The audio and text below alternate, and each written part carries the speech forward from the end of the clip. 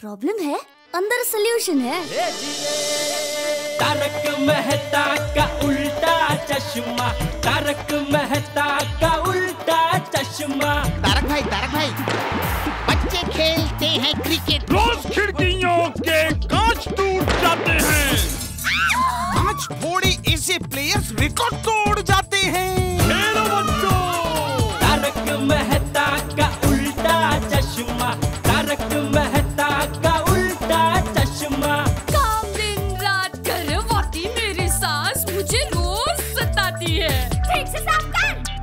अरे दिल में प्रेम हो तो सास माँ बन जाती है। अच्छा बहू सास माँ। प्रॉब्लम्स तो है सबके साथ बस नज़रिए की है बात। तारक मेहता का उल्टा चश्मा तारक मेहता का उल्टा चश्मा। तारक मेहता का उल्टा चश्मा। नहीं दया गवाही नहीं देगी।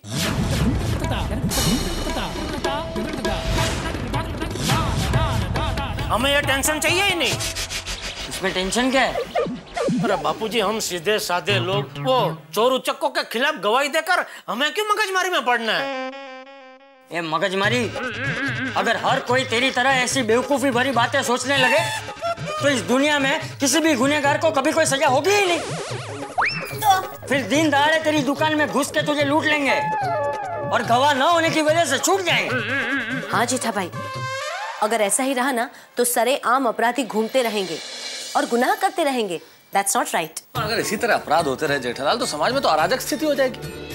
अपराधियों में कोई डर ही नहीं रहेगा। अरे भाई अपराधियों में किस चीज़ का सबसे ज़्यादा डर होता है? सजा का। और सजा देने के लिए अपराध साबित करने के लिए कोई गवाह चाहिए। बराबर है। और जब तुम जैसे लोग ही गवाही देने से कतराएँगे जेठालाल तो समाज और देश का आखिर क्या होगा? अरे जेठिया, देश के जवान वहाँ बॉर्डर पे गर्मी, ठंडी, बरसात, हर मौसम बर्दाश्त करके अपनी जान की बाजी लगाने के लिए तैयार है। और तू गवाही के लिए मना कर रहा है? अरे पहले देश के लिए सोचना चाहिए, फिर खुद के लिए। बापूजी, मैं भी देशभक्त हूँ, देश के लिए अपनी जान दे सकता हूँ, लेकिन मुझे अपनी जान से ज़्यादा दया की जान की फ़िक्र है, इसलिए ना कह रहा हूँ। जेठालाल तुम्हारी भावना बिल्कुल ठीक है, दोस्त, लेकिन हमारा फ़र्ज़ भी तो कोई चीज़ है।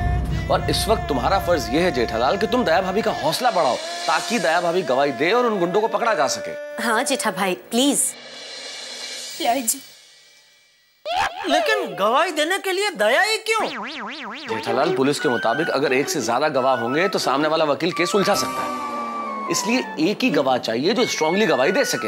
इसलिए दया भाभी गवाही देंगी। सॉरी लेकिन मैं कुछ समझा नहीं। ये सॉरी वो बाद में समझना पहले ये समझ। शुक्रवार को बहू को नारी रत्न सम्मान मिलने वाला है। तू क्या चाहता है कि उसके एक दिन पहले बहू गवाही ना देकर उस सम्मान का अपमान करे? अरे मेरे दादाजी क्रांतिकारी थे। देश के लिए उन्होंने अपनी जान दे दी। तो क्या बहू हमारे देशभक्त खानदान का अपमान करे?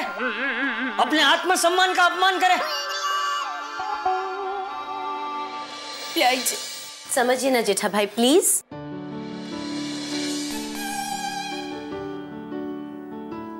ठीक है। दया तू गवाही देना। थैंक यू टप्पू के पापा। बहुत बढ़िया जेठालाल। वेरी गुड चलिए चाचा जी अब हम भी चलते हैं। चलिए मैं भी निकलता हूँ मुझे भी दुकान जाना है। मैं क्या कहती हूँ अभी खाने का टाइम हो गया है तो आप सब खाना खाकर ही जाइए ना। ठीक। है क्या ठीक है? एक्चुअली दया भाभी मैंने तारक का डाइट फ़ूड घर पे रेडी रखा है। अगर वो यहाँ ये खा लेंगे तो वहाँ वो कौन खाएगा? वैसे भी वो कौन खाएगा? तुम खा लेना। अच्छा जी। मुझसे ज़्यादा आपको ज़रूरत है। चलिए तारक। चलिए। अच्छा चाचा जी जय जिनेन्द्र। जय जिनेन्द्र। जय जिनेन्द्र। जय जिनेन्द्र। जय जिनेन्द्र। जय जिनेन्द्र। चलिए बापूजी मैं भी निकलता हूँ। टप्पू के पापा आप तो खाना खा कर जाइए। चलो अभी नाम ले लिया है तो खा के जाता हूँ।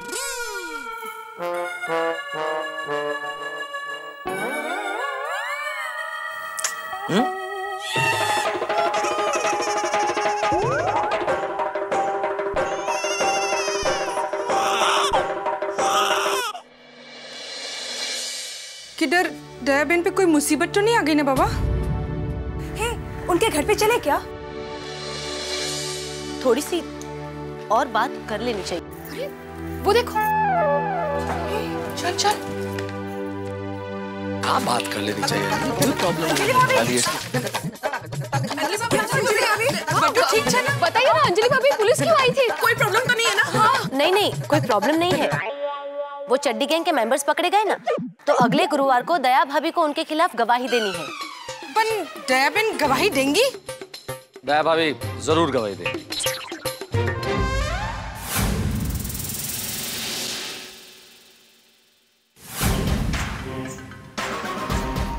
बॉस गोरेगांव इलाके में एक गोकुलधाम सोसाइटी है।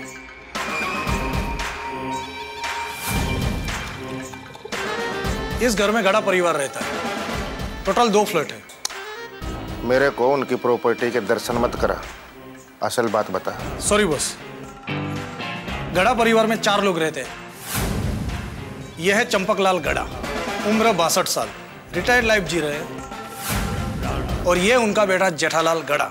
उम्र। मेरे को अपनी बहन की शादी नहीं करवानी इनके साथ जो उम्र बता रहा है। कम टू द पॉइंट ना। सॉरी बॉस सॉरी ये उनका बेटा टिपेंद्र उर्फ़ टप्पू। ये उनकी वाइफ दयागढ़ा।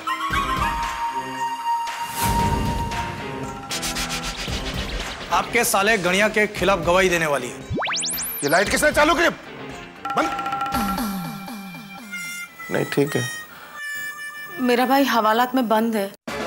और आप यहाँ पर बैठकर ऐसे प्रोजेक्टर पर फ़िल्म देख रहे हो? मैं अ, फ़िल्म नहीं देख रहा हूँ मैं मैं काम कर रहा हूँ। मतलब तुम्हारा भाई को छुड़ाने के लिए जो गवाही देने वाली है ना दयाबेन वो देख दयाबेन। उसकी इंफॉर्मेशन कलेक्ट कर रहा हूँ मैं। अभी इंफॉर्मेशन कलेक्ट हो गई है अब आगे का एक्शन शुरू करेंगे। वो सब वो सब मैं नहीं जानती। मैं तो बस इतना चाहती हूँ कि मेरा भाई हवालत से बाहर आ जाए। कैसे आएगा बाहर? तू कुछ काम करने देगी तो आएगा ना। अब तू जाएगी तो मतलब हम कुछ काम करेंगे। तू प्लीज़ जा यहाँ से जा।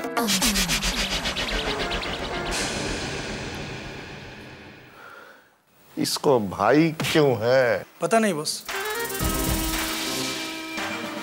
Johnny yes boss Gokuldham society जा और दया बेन को प्यार से समझा के गवाही मत देना। और अगर नहीं माने ना तो समझ गया बॉस लाइट बंद करो दिखाओ।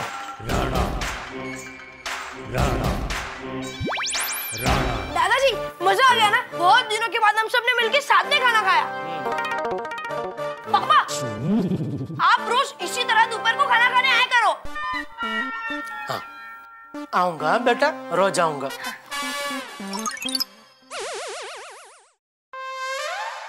टप्पू के पापा। जरा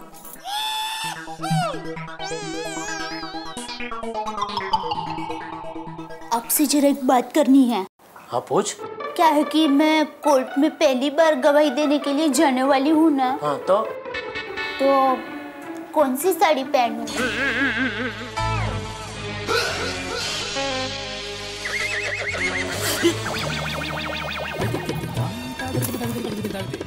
नॉनसेंस तू कोर्ट में गवाही देने जा रही है और चड्डी गैंग वाले की शादी के रिसेप्शन में नहीं जा रही है? कौन सी साड़ी पहनूं?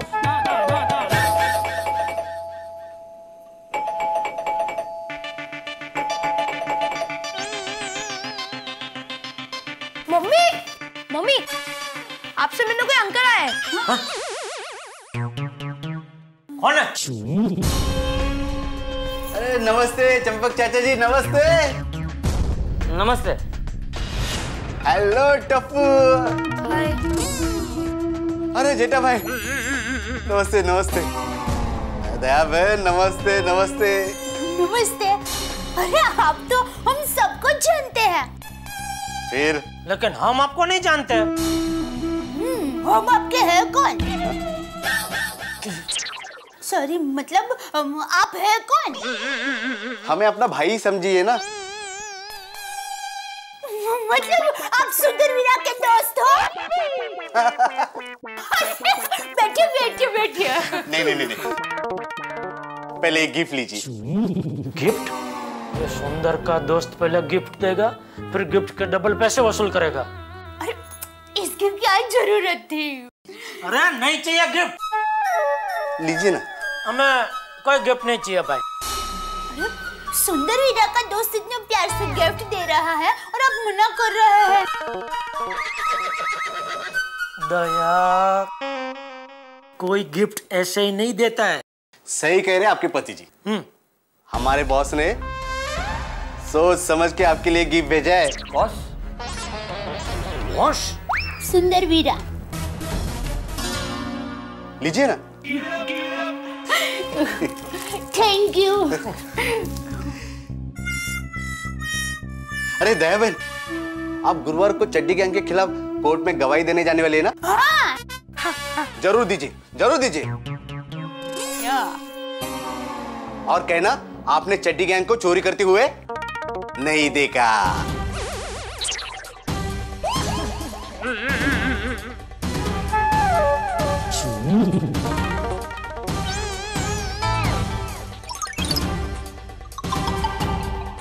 एक मिनट। तुम चड्डी गैंग के ओर से आए हो? सही जवाब।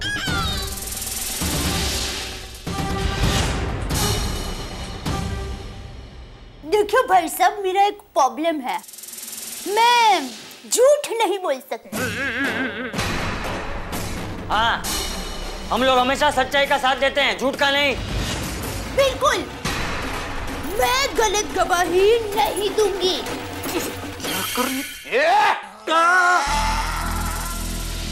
अगर कोर्ट में गलत गवाही नहीं दी तो तुम लोग के लिए अच्छा नहीं होगा।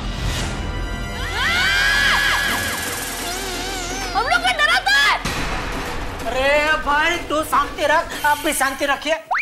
बस देखिए। तू देख। क्या? गिफ्ट। देख लिया चल कॉल क्यों? हॉल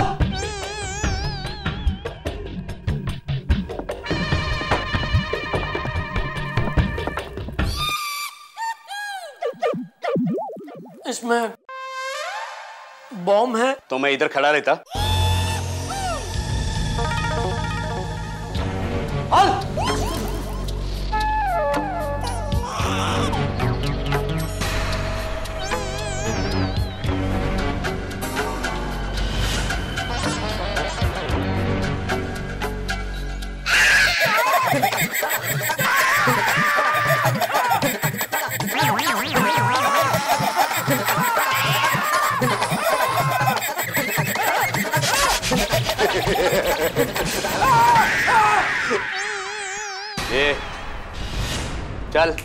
दूसरा गिफ्ट खोल खोल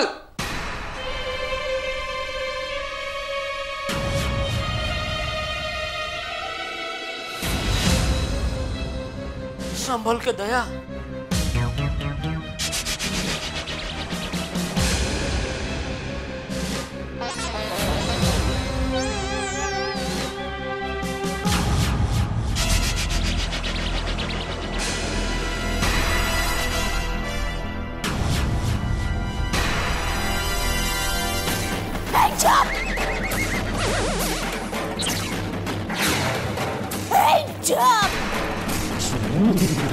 शाबाश बहू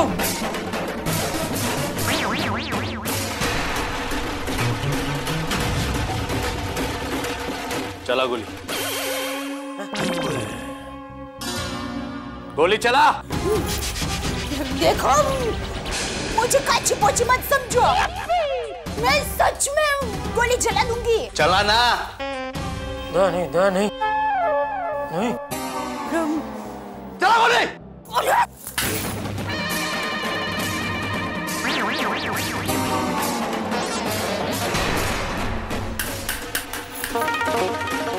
ये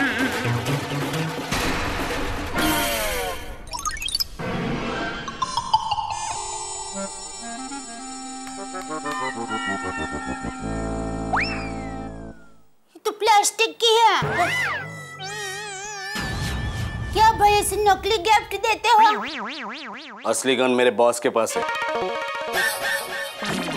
अगर चड्डी गैंग के खिलाफ गवाही दी तो?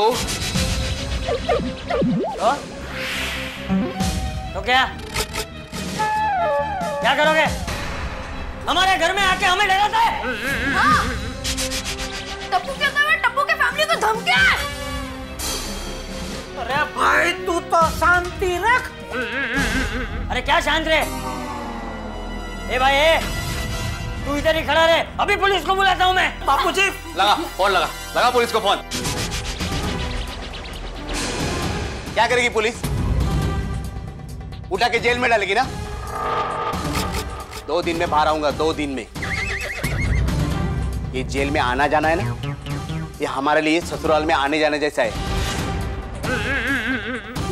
ले ये तो जेल जाने से भी नहीं डरता। ये हम किसी से नहीं डरते।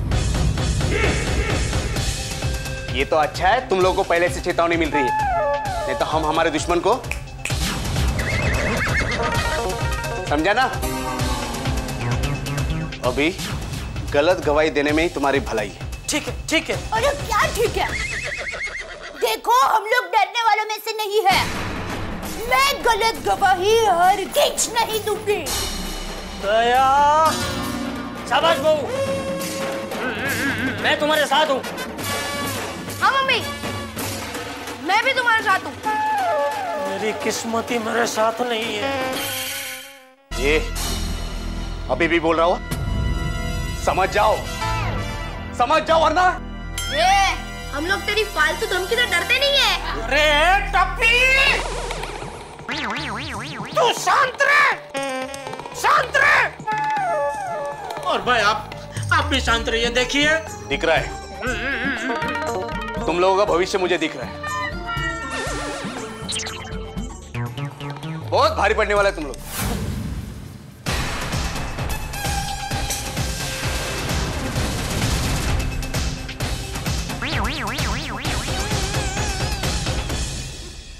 देखा देखा बाबूजी इसलिए मैं पहले ही कह रहा था कि ये चड्डी गैंग के खिलाफ हमें गवाही देने की मगजमारी में नहीं पड़ना है।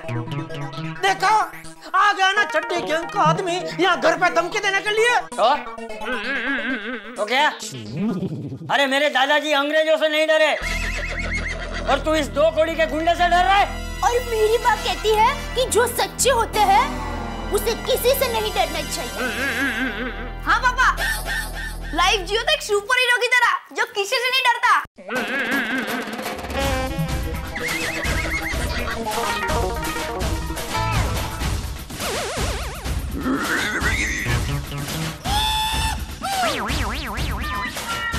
हे भगवान, बापूजी और दया तो समझने को तैयार ही नहीं है। अभी गुंडों से ज़्यादा तो मुझे इन दोनों का डर लग रहा है। क्या करूँ? दोस्तों, आपने कभी रस्ता कश्ती का खेल खेला है? खेला नहीं होगा तो देखा तो ज़रूर होगा। कल्पना कीजिए कि रस्ता कश्ती के खेल में एक तरफ़ हिरन हो और दूसरी तरफ़ उनका मुकाबला करने के लिए हाथी हो। तो क्या हाल होगा हिरन का? ठीक वैसा ही हाल मेरे परम मित्र जेठालाल का होने वाला। भाई, क्यों ना होगा ऐसा? जेठालाल के परिवार पे अभी कर्तव्य परायणता का भूत जुनून सवार है। और जेठालाल जो है, व्यापारी आदमी है, वो नहीं चाहते कि किसी मुसीबत में पड़े। परिवार चाहता है कि गवाही दी जाए, लेकिन जेठालाल चाहते हैं कि इस मुसीबत का सामना ना किया जाए। लेकिन जेठालाल की चलने वाली नहीं है बाबूजी के सामने। अब सोचिए कि सैंडविच बन गए हैं जेठालाल। अब इस मुश्किल से बचने के लिए वो क्या क्या करने वाले हैं? ये तो मुझे नहीं पता। लेकिन इतना मैं ज़रूर जानता हूँ कि जेठालाल का हाल बड़ा बुरा है और इस हाल से बाहर निकलने के लिए वो प्रयास ज़रूर करेंगे। और जितने प्रयास वो करेंगे आप हंस के बेहाल हो जाएँगे। बस देखते रहिए तारक मेहता का उल्टा चश्मा मेरे साथ।